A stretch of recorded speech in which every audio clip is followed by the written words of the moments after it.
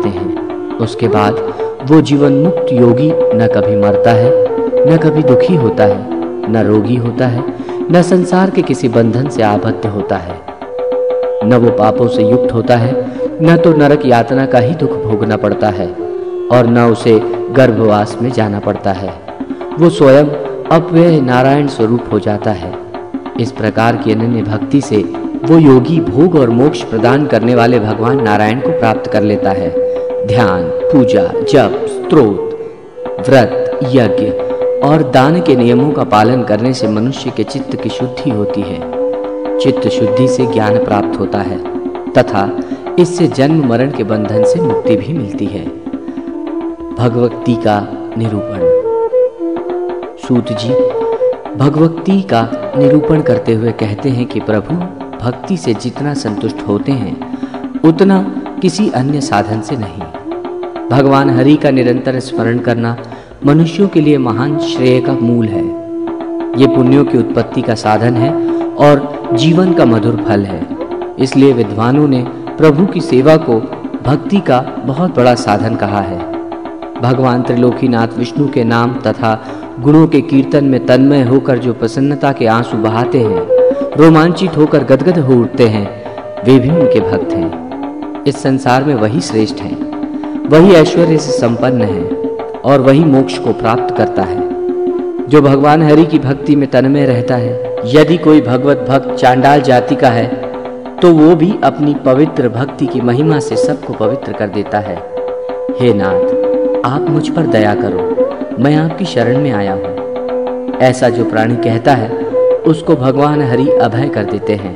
किसी से भी उसको भय नहीं होता। ये भगवान की प्रतिज्ञा है। जिन मनुष्यों का मन हरि भक्ति में रमा हुआ है, उनके सभी प्रकार के पापों का विनाश निश्चित है। हाथ में पाश लेकर खड़े हुए अपने दूत को देखकर यमराज उसके कान में कहते हैं कि, हे दूत, तुम उन लोगों को छोड़ देना जो मधुसूदन विष्णु के भक्त हैं। मैं तो अन्य दुराचारी पापियों का स्वामी हूँ। भक्तों के स्वामी स्वयं श्री हरि हैं। श्री विष्णु ने सर्वदा कहा है यदि दुराचारी मनुष्य भी मुझमें अनन्य भक्ति रखता है तो वो साधु ही है, क्योंकि उसने ये निश्चित कर लिया है कि भगवान की भक्ति के समान अन्य कुछ भी नहीं है। भगवान हरि में जिस मनुष्य की भक्ति रहती है, उसके लिए धर्म, अर्थ और काम, इस त्रिवर्ग का कोई महत्व नहीं है, क्योंकि परम सुख रूप मुक्ति उसके हाथ में ही सदा रहती है। इस संसार रूपी विश्व वृक्ष के अमृत के समान दो फल हैं।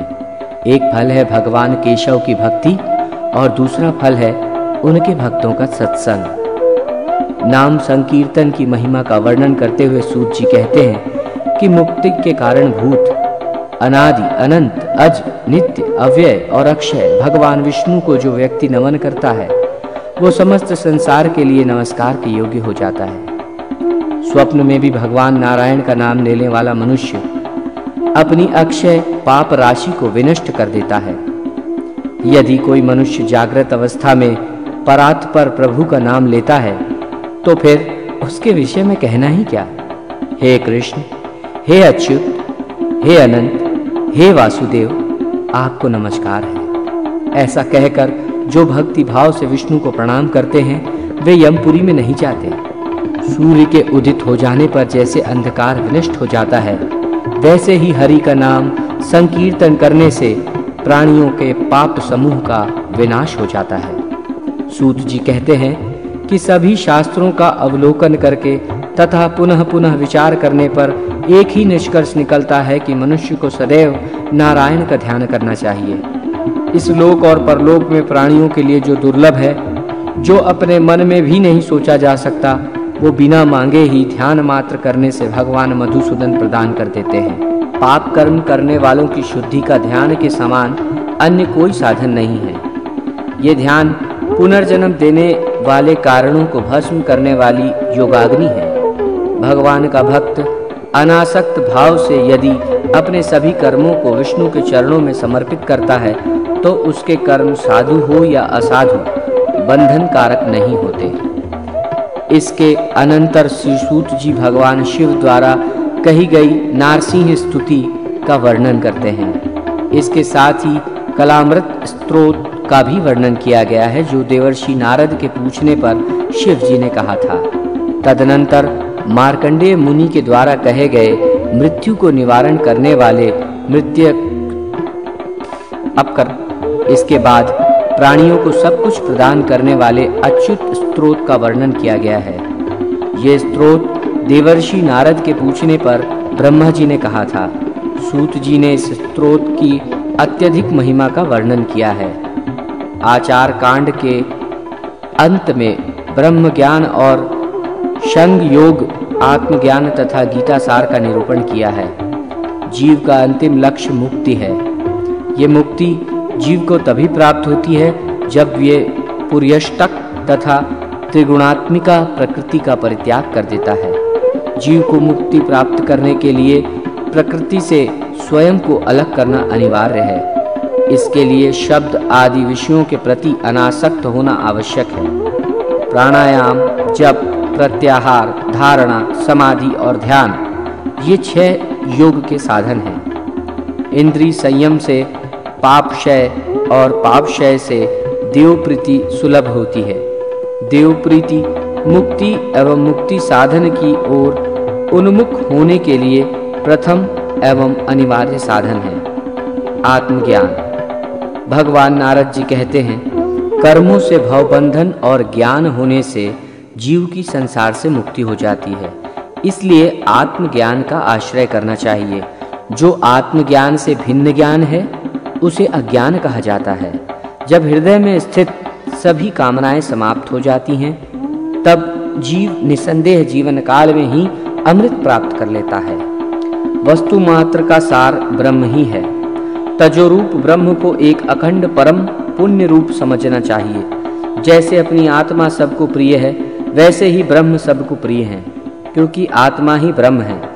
सभी तत्वज्ञ ज्ञान को सर्वोच्च मानते हैं।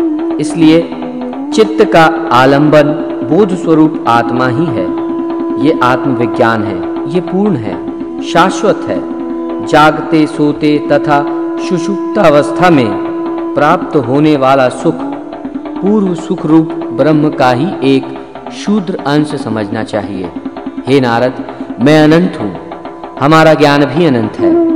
मैं अपने में पूर्ण हूँ। आत्मा के द्वारा अनुभूत अतः सुख में मैं ही हूँ। सात्विक, राजस और तामस गुण से संबंधित भावों में मैं ही नित्य परे रहता हूँ। मैं शुद्ध हूँ, अमृत स्वरूप हूँ। मैं ही ब्रह्म हूँ।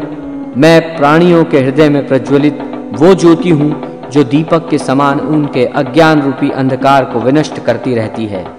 यही आत्मज्ञान की स्थिति है। गीता सार। गीता सार का वर्णन करते हुए भगवान नारद जी से कहते हैं, हे नारद आत्म कल्याण ही परम कल्याण है। उस आत्मज्ञान से उत्कृष्ट और कुछ भी नहीं है। आत्मा देह रहित रूप आदि से हीन इंद्रियों में अतीत है। मैं आत्मा हूँ। संसार आदि संबंध के कारण मुझे किसी प्रकार का दुख नहीं है। जैसे आकाश में विद्युत अग्नि का प्रकाश होता है, वैसे हृदय में आत्मा के द्वारा आत्मा प्रकाशित होती है। यम नियम आसन प्राणायाम, प्रत्याहार, ध्यान, धारणा और समाधि। ये अष्टांग योग मुक्ति के लिए कहा गया है। शरीर, मन और वाणी को सदा सभी प्राणियों की हिंसा से निवृत्त रखना चाहिए, क्योंकि अहिंसा ही परम धर्म है और उसी से परम सुख मिलता है। सदा सत्य और प्रिय वचन बोलना चाहिए।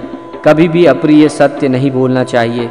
प्रिय मिथ्या वचन भी नहीं बोलना चाहिए। चोरी से या बलपूर्वक दूसरे के द्रव्य का अपहरण करना स्तेय है।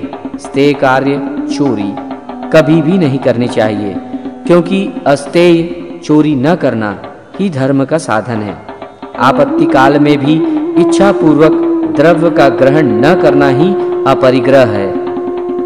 यदीक्षा लाभ तथा अनायास प्राप्ति से संतुष्ट होना ही संतोष है। ये संतोष ही सभी प्रकार के सुख का साधन है। मन और इंद्रियों की जो एकाग्रता है, वही परम तप है। कर्म, मन और वाणी से हरि की स्तुति, नाम स्मरण, पूजा आदि कार्य और हरि के प्रति निश्चला भक्ति को ही ईश्वर का चिंतन कहा जाता है। अपने शरीरगत वायु का नाम प्राण है। उस वायु के निरोध को प्राणायाम कहा जाता है। इंद्रियाँ असत चरणों में विचरण करती है। उनको विषयों से निवृत्त करना चाहिए। मूर्त और अमूर्त ब्रह्म चिंतन को ध्यान कहा जाता है। योगारंभ के समय मूर्तिमान और अमृत रूप में हरि का ध्यान करना चाहिए। तजोमंडल के मध्य में शंख, चक्र, गदा तथा पद्मधारी चतुर्भुज, कौस्तुभ चिन्ह से विशुभित वनमाला, वायु स्वरूप जो ब्रह्म से अधिष्ठित हैं, मैं वही हूँ। इस प्रकार मन का लय करके परमात्म प्रभु को धारण करना ही धारणा है। मैं ही ब्रह्म हूँ और ब्रह्मा ही मैं हूँ। इस प्रकार अहम और ब्रह्म पदार्थ का तादात्म्य रूप ही समाधि है। ब्रह्म गीता का सार तत्व वर्णन करते हुए भगवान कहते हैं कि यह सिद्ध ही परमात्मा है। उसी परमात्मा से आकाश आकाश से वायु वायु से अग्नि अग्नि से जल तथा जल से पृथ्वी की उत्पत्ति हुई है। जो इस जगत प्रपंच की भी जन्मदात्री है। जागृत स्वप्न तथा सुषुप्ति की अवस्थाओं से परे, वो ब्रह्म अपने निर्गुण स्वभाव में ही रहता है। उस क्रियाशील शरीर के साथ रहने तथा न रहने की स्थिति में भी वो नित्य शुद्ध स्वभाव वाला ही है। उसमें कोई विकृति नहीं आती मुमुक्षु के अंतकरण के कैवल्य अर्थात उस परमात्मा के साक्षात्कार की अवस्था आ जाती है। अतः मोक्षार्थी को उस स्थिति में जीवात्मा के विषय में विचार कर उसको शरीर से पृथक समझना चाहिए, क्योंकि आत्म तत्व को शरीर से अतिरिक्त न मानने पर ब्रह्म तत्व से साक्षात्कार करने में अनेक बाधाएँ आती हैं। अतः उन बाधाओं को दूर करना अपेक्षित है। ब्रह्म को नित्य शुद्ध, बुद्ध, सत्य तथा अद्वैत कहा जाता है। ये आत्म तत्व परम ज्योति स्वरूप है। ये चिदानंद है। ये सत्य ज्ञान और अनंत है। यही तत्व मसीह है। ऐसा वेदों का भी कथन है। मैं ब्रह्मा हूँ। संसारिक विषयों से जो परे रहता है, मैं वही निर्लिप्त देव हूँ। मैं तो वही अनादि देवी देवेश्वर परब्रह्म ही हूँ। जिसके आदि और अंत का ज्ञान किसी को भी नहीं है। यही गीता का सार है। इसको सुनकर मनुष्य ब्रह्म में लीन हो सकता है, अर्थात उसे जीवन मुक्ति प्राप्त हो सकती है। गरुड़ पुराण का महत्व। आचार कांड के अंतिम अध्याय में गरुड़ पुराण का महत्व वर्णित है।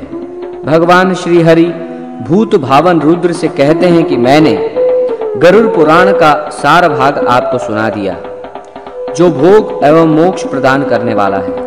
ये विद्या, यश, सौंदर्य, लक्ष्मी और आरोग्य आदि का कारक है। जो मनुष्य इसका पाठ करता है या सुनता है, वो सब कुछ जान लेता है और अंत में उसका परम कल्याण हो जाता है। जिस व्यक्ति के घर में ये महापुराण रहता है, उसको इसी जन्म में सब कुछ प्राप्त हो जाता है। इस महापुराण को पढ़ने एवं सुनने से मनुष्य को धर्म, अर्थ, काम और मोक्ष इन चारों पुरुषार्थों की सिद्धि हो जाती है। जो मनुष्य इस पुराण के एक भी श्लोक का पाठ करता है, उसकी अकाल मृत्यु नहीं होती है। पक्षी श्रेष्ठ गरुड़ जी के द्वारा कहा गया ये महापुराण धन्य है। ये सबका कल्याण करने वाला है। धर्मकांड प्रेत कल्प धर्मकांड में सर्वप्रथम भगवान श्री नारायण को नमस्कार किया गया है। तदनंतर देवक्षेत्र नैमिषारण्य में शौनकादि श्रेष्ठ मुनिगण सूत जी महाराज से प्रश्न करते हैं कि कुछ लोगों का कहना है कि शरीरधारी जीव एक शरीर के बाद दूसरे शरीर का आश्रय ग्रहण करता है, जबकि दूसरे विद्वानों का कहना है कि प्राणी को मृत्यु के पश्चात यमराज की यातनाओं का भोग करने के बाद दूसरे शरीर की प्राप्ति होती है। इन दोनों में क्या सत्य है? ये बताने की कृपा करें। सूत जी महाराज प्रश्न को सुनकर प्रसन्न होते हैं और इस प्रकार कथा का वर्णन करते हैं। एक बार विनीता पुत्र गरुड़ के हृदय में इस ब्रह्मांड के सभी लोगों को देखने की इच्छा हुई। अतः हरि नाम का उच्चारण करते हुए उन्होंने पाताल, पृथ्वी तथा स्वर्ग आदि सभी लोगों का भ्रमण किया। पृथ्वी पृथ्वीलोक के दुख से अत्यंत दुखित एवं अशांत चित्त होकर वे पुनः वैकुंठ लोक वापस आ गए। वैकुंठ लोक में मृत्यु लोक के समान रजोगुण तथा तमोगुण आदि की प्रवृत्ति नहीं है। केवल शुद्ध सत्व गुण की ही प्रवृत्ति है। वहाँ राग, द्वेष आदि षडविकार भी नहीं है। किसी का वहाँ विनाश नहीं होता। वहाँ भगवान के मनोहारी सुंदर पार्षद उपस्थित हैं। गरुड़ जी ने देखा कि हरि झूले पर विराजमान है भगवान हरि का दर्शन करने से विनतासुत गरुड़ का हृदय आनंद विभोर हो उठा। आनंद मग्न होकर उन्होंने प्रभु को प्रणाम करते हुए कहा, भगवान, आपकी कृपा से त्रिलोक का परिभ्रमण मैंने कर लिया है। यमलोक को छोड़कर पृथ्वीलोक से सत्यलोक तक सब कुछ मेरे द्वारा देखा जा चुका है। सभी लोकों की अपेक्षा पृथ्वीलोक प्राणियों से अधिक परिपूर्ण है। सभी योनियों में मानव योनि ही भोग और मोक्ष का शुभ आश्रय है। अतः सुकृतियों के लिए ऐसा लोक न तो अभी तक बना है और न भविष्य में बनेगा। देवता लोग भी इस लोक की प्रशंसा में गीत गाते हुए कहते हैं कि जो लोग पवित्र भारत भूमि में जन्म लेकर निवास करते हैं, वे धन्य हैं। सुरगण भी स्वर्ग एवं अपवर्ग रूप फल की प्राप्ति के लिए पुनः भारत भूमि में मनुष्य रूप में जन्म लेने की इच्छा करते हैं। गरुड़ जी पूछते हैं, हे प्रभु, आप ये बताने की कृपा करें कि मरणासन्न व्यक्ति किस कारण पृथ्वी पर सुलाया जाता है? उसके मुख में पंचरत्न क्यों डाला जाता है? उसके नीचे कुश और तिल क्यों बिछाए जाते हैं? हे केशव, मृत्यु के समय विविध वस्तुओं का दान एवं गौदान, अष्ट महादान किस लिए किया जाता है? प्राणी कैसे मरता है और मरने के बाद कहाँ जाता है? उस समय प्राणी अतिवाहिक शरीर कैसे प्राप्त करता है? अग्नि देने वाले पुत्र, पौत्र उसे कंधे पर क्यों ले जाते हैं? शव में घृत लेप क्यों किया जाता है? शव के उत्तर दिशा में यम सूक्त का पाठ क्यों होता है? मरे हुए व्यक्ति को पीने के लिए जल एक ही वस्त्र धारण करके क्यों दिया जाता है? शव का दाह संस्कार करने के पश्चात उस व्यक्ति को अपने परिजनों के साथ बैठकर भोजन आदि क्यों नहीं करना चाहिए? मृत व्यक्ति के पुत्र दसवें दिन के पहले किस लिए नौ पिंडों का दान देते हैं? शव का दाह संस्कार तथा उसके अनंतर जल तर्पण की क्रिया क्यों की जाती है? किस विधान से पितरों को पिंडदान देना चाहिए? उस पिंड को स्वीकार करने के लिए उनका आवाहन कैसे किया जाता है?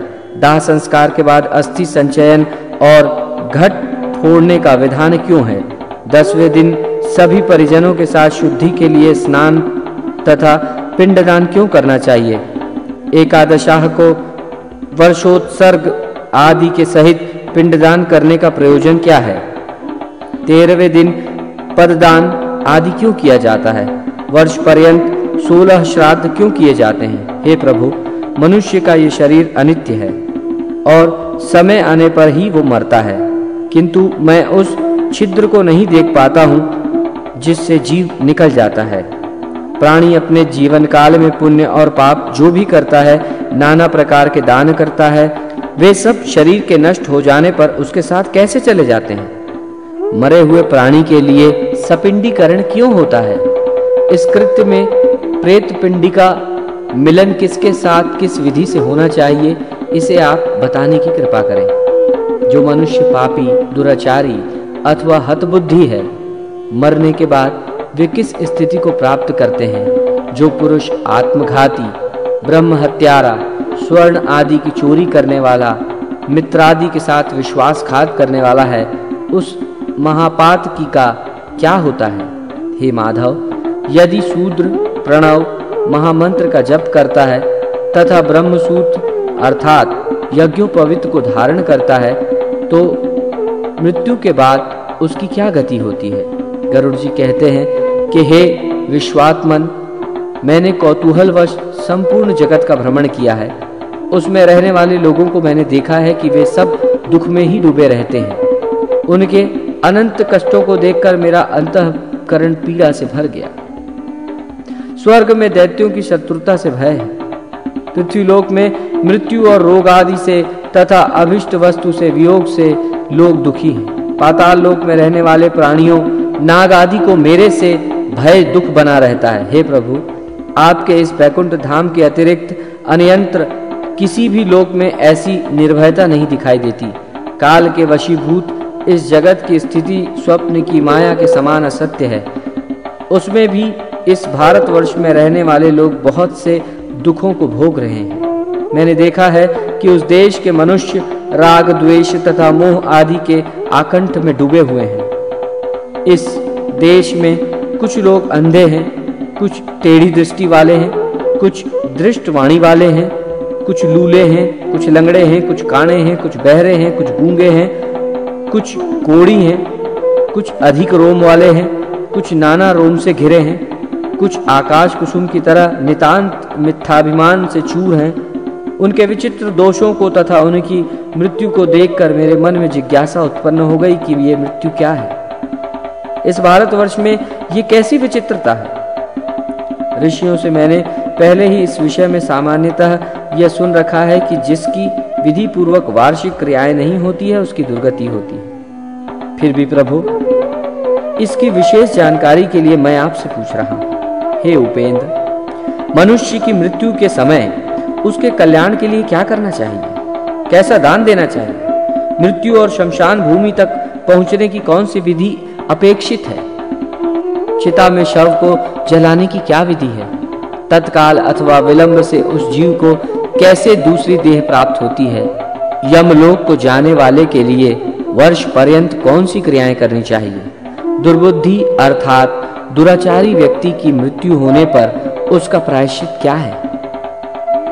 पंचकादि में मृत्यु होने पर पंचक शांति के लिए क्या करना चाहिए? हे देव, आप मेरे ऊपर प्रसन्न हो। आप मेरे इस संपूर्ण भ्रम को विनष्ट करने में समर्थ हैं। मैंने आपसे ये सब लोक मंगल की कामना से पूछा है। मुझे बताने की कृपा करें।